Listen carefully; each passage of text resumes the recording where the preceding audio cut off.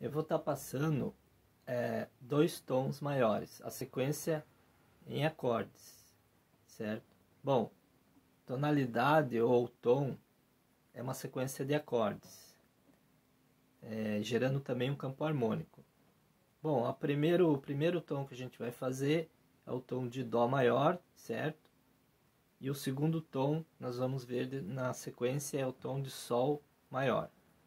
Começando pelo Dó. Primeiro acorde, Dó maior. Segundo acorde, Ré menor.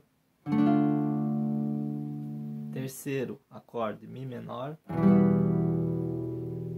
Quarto acorde, Fá maior. Quinto acorde, Sol maior. Sexto acorde, Lá menor. E o sétimo acorde, Si menor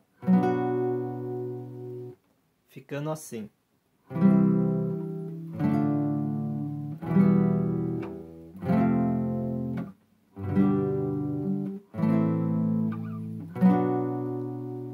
Certo?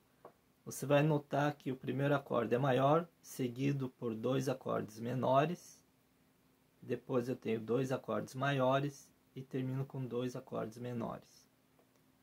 Segundo tom, Sol maior. Sol, Lá menor, Si menor. Agora eu faço Dó maior, Ré maior, Mi menor.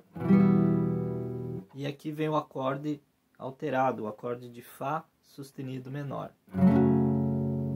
Ou seja, o primeiro tom que vem depois do Dó, com acorde alterado, é Sol, certo? Então você pode tocar várias músicas no tom de Dó ou no tom de Sol, que vai aparecer essa sequência.